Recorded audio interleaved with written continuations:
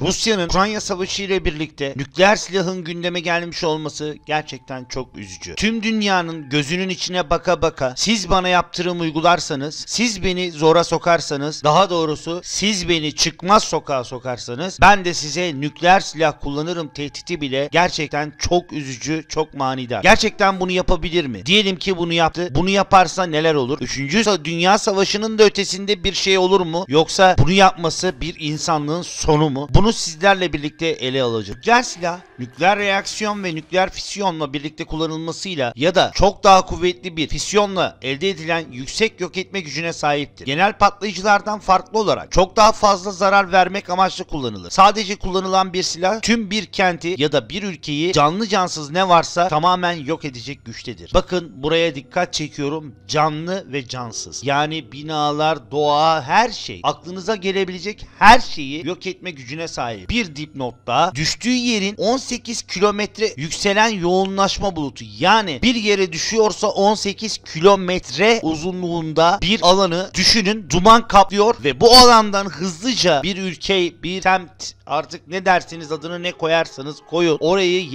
yok etme gücüne sahip. Savaş tarihinde nükleer silah ABD tarafından 2. Dünya Savaşı'nın son günlerinde ilk kez kullanılmış. İlk olay 6 Ağustos 1945 sabahı Little Boy yani küçük çocuk kod isimli uranyum tipi silahın Japonya'nın Hiroşima kentine atılmasıyla vuku bulmuştur. 3 gün sonra ise Fatman yani Türkçe adıyla Şişman Adam kod isimli platinyum tipi silahın aynı ülkenin Nagasaki kentinde atılmıştır.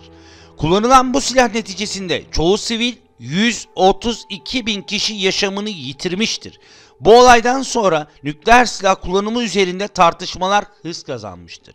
İki temel nükleer silah türü vardır. İlki Hiroşima'ya atılan uranyum. Yani nereden bakarsak bakalım her iki silahın da bombasındaki gibi uranyum ötesi ağır atom çekirdeklerinden bölerek enerji elde edilen fisyon bombalarıdır. Bu silahlardan uranyum ve platinyum gibi ağır elementler parçalanabilir. Yani daha doğrusu şöyle söyleyelim. Bir nükleer silah atılan iklim, kent, şehir, her neresi varsa orasının bir daha kendine gelmesi yaklaşık 17 bin sene sürdüğü söyleniliyor. Ve buna bakılacak olursa şu an dünya üzerinde Amerika Bilim Adamları Federasyonu 2012 tarihi itibariyle dünyada 4300'ü kullanılan kullanıma hazır olan ve toplamda 17 bin nükleer silah olduğunu duyurdu. Bu gerçekten korkunç, insanlığın sonunu getirebilecek kadar kuvvetli bir element. Peki Putin bunu kullanmaya cesaret edebilir mi? Ederse ne olur? Yani aslına bakarsanız Putin bütün gelirini neredeyse petrolden kazanan ve Avrupa'dan kazanan bir eee, ülke. Daha doğrusu ülke lideri.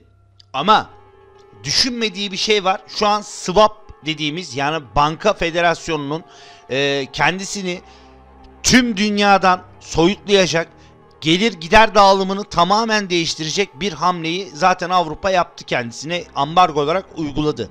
Bu ambargo kalıcı olarak mı uygulandı yoksa geçici olarak mı? Bunu tabii ki ilerleyen günlerde göreceğiz. Savaşın seyri de bunu gerçekten belirlemekte oldukça etkin bir rol oynayacak. Belki de iktidarı düşecek Putin'in. Çünkü öyle bir tehditte bulundu ki insanlığın sonunu getirebilecek kadar kuvvetli bir tehditte bulundu.